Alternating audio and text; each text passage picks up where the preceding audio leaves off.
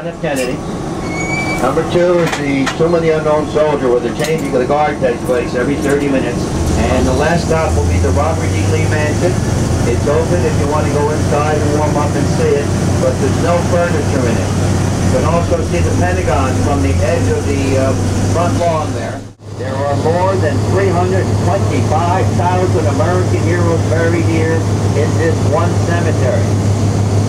There are more than 100,000 spouse and minor children. There are close to 28 funerals a day here. Seven days a week, five days a week, about 7,000 a year. This is an older section of the cemetery to the left. Headstones are all different sizes, shapes, and colors, much like cemeteries near your hometown. Starting in 1947, all new sections like this one, all newly opened sections, must have the plain white marble headstone exclusively. They weigh about 250 pounds, 42 inches high, placed in the ground 14 inches, and they're lined up in perfect rows in any direction you look, like military people standing at attention. Right now, we're approaching the Kennedy gravesite.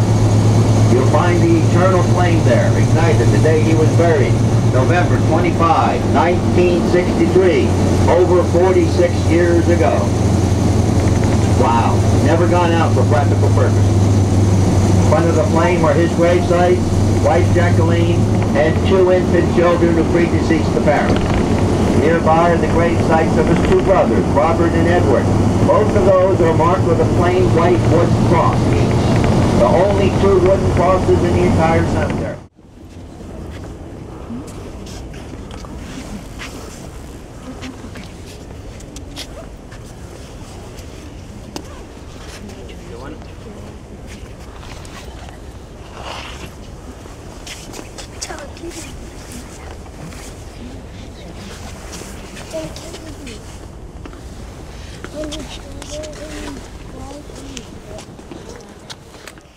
Is the World War II repatriation section.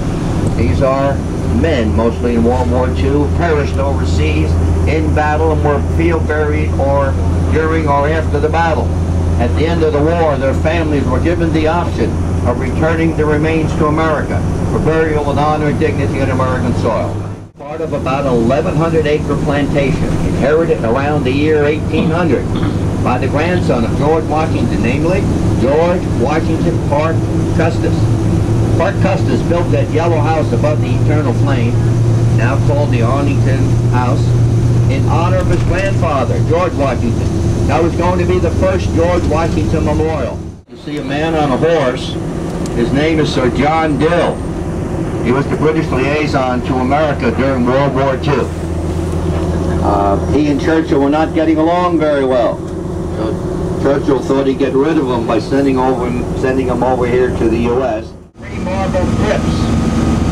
One unknown to World War II, next Korea, and the third one is empty.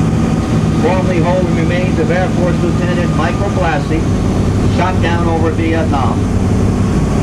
His remains identified 11 years ago by DNA technology. No longer unknown, his family elected to rebury him closer to home in St. Louis, Missouri. A tall soldier will march in front of the white sarcophagus exactly 21 steps and then stop precisely 21 seconds and return march 21 more steps. That's symbolic of the 21 gun salute, the highest honor that can be given at a military funeral and reserved for the president. That soldier marches 24-7, 365, doesn't stop for heat or snow like last week, doesn't stop for world events like 9-11. Up ahead you'll see a concrete base and a ship mast. That's one of the two masts of the battleship Maine, the sinking of which started the Spanish-American War. Audie Murphy's gravesite, the most decorated enlisted soldiers immediately to your left behind this big tree. The one on the far left is the Challenger astronaut. The one on the far right is the Columbia.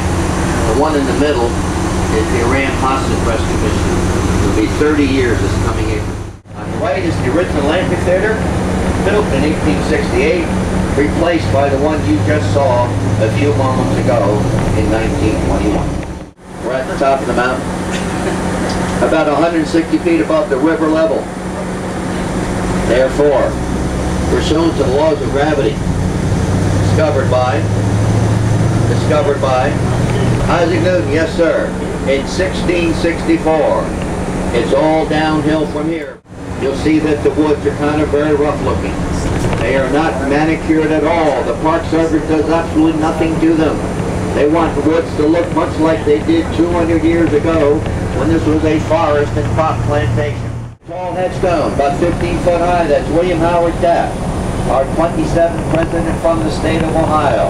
Also, Chief Judge of the Supreme Court, the only person ever to do that. To this tree on the right, you'll see a circle with a, with a wreath and a little bird on it with five stars.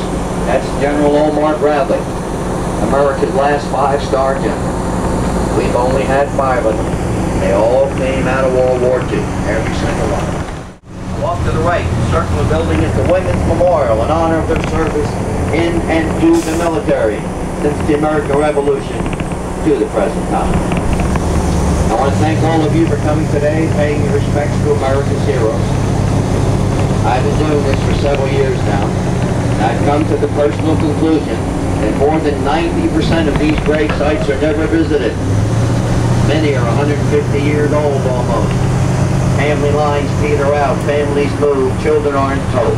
While you're coming today, and everybody else who came today, symbolically, it is as if you visited every single gravesite in the cemetery. And if you believe in the upstairs, a lot of happy souls looking down at all of you saying thank you, thank you, thank you, and thank you for coming today and paying your respects, recognizing the great sacrifice that I made on behalf of our country since the time of the American Revolution to the present time to keep it free and safe, the freest